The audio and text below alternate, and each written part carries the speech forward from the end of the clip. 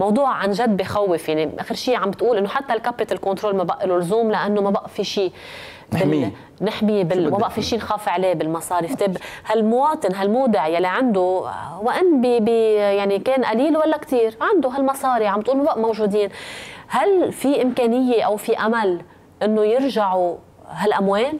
أو لا وأي متى؟ يعني خلي الناس اللي عم تسمعنا تعرف بس شو مصير أموالها. استرداد. يعني في ناس جنى عمرها بال استرداد بالمصارف. المال المسروق هو شرط أساسي لاسترجاع المودعين لأموالهم في المصارف.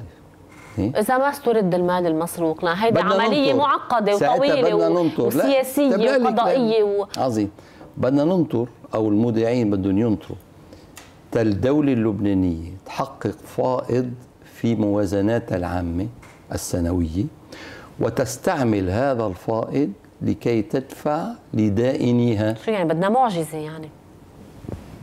حتى الدولة تحقق فائض قد إيه برأيك يعني سنوات عم نحكي يعني 10 سنين؟ قد إيه؟ فائض معناتها بدنا ننتظر واردات المالية من النفط والغاز. ممكن ساعتها أي بس بعد قد إيه؟ هيدي لحتى هيدي بعد سنين. تبلش تفوت أموال على خزينة الدولة. بعد سنين. مم. مش بهالسهولة انتبهي. مش بهالسهولة آه، لما بينفقد المال إنه واحد يقدر يسترده. مش بهالسهولة. لذلك يعني دائما بالنسبة للمصارف التوظيفات الآمنة هي أساس العمل المصرفي. إذا التوظيفات منا آمنة أكيد المصرف وأيضا الودائع بيكونوا بخطر. طيب هون الوديعة بالليرة نفس مصير الوديعة بالدولار يعني اللي عنده حساب دولار أو ليرة هو بنفس دائرة الخطر. لا لك شغلة. الودائع بالليرة ممكن إنه تجي الدولة تطبع وتعطيك هالمليون ليرة أو ال مليون ليرة أو ال 500 مليون ليرة ولكن تعطيك إياهم بدون قيمة. شو النفع؟ يعني بكل الحالات في خسارة كبيرة جدا. أول شيء يتكبدها الناس يتكبدها المودعون. وفي خسارة كمان بالنسبة للخزينة اللبنانية يلي هي خزينتنا. بالنتيجة خزينة إذا مديونة يعني أنا مديون. خزينة عندها عجز مالي يعني أنا كمواطن عندي عجز مالي. ما حدا يعتقد. كانوا الناس مفتكرين إنه مراكمة الديون على الخزينة ما رح تعنيهم ابدا. إنه هيدي شيء وطبعا الفوائد اللي عم يستفيدوا منها وما بعرف شو شيء آخر مختلف. لا كنت دائما أنا أقول لازم ننتبه إنه سلامة الخزينة اللبنانية أو سلامة نحن جيوبنا من سلامة خزينتنا. مم.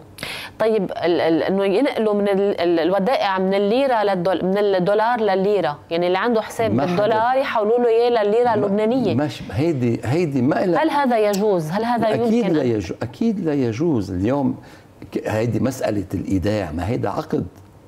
عقد بينك وبين المصرف.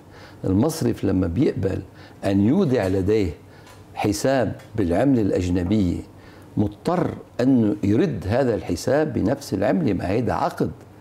هلأ ليش شو بيقدر يعمل المواطن إذا المصرف أخل بهذا العقد؟ شوفي ليش بعض ليش بعض المصارف تعرضت لتصنيف شديد السلبية SD selective default بعض المصارف يلي أسهمها مدرجة بالبورصات. ليه؟ لسبب بسيط.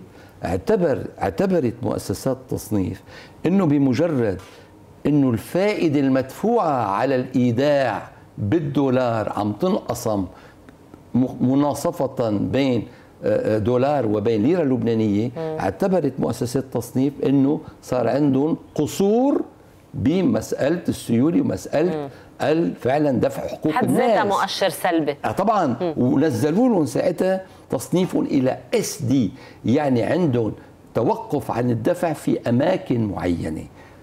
هالمكان المعين هو كامل الفايدة بالدولار الأمريكي على الوديعة بالدولار لأنه عم بيقسموها على اثنين هلأ نعم.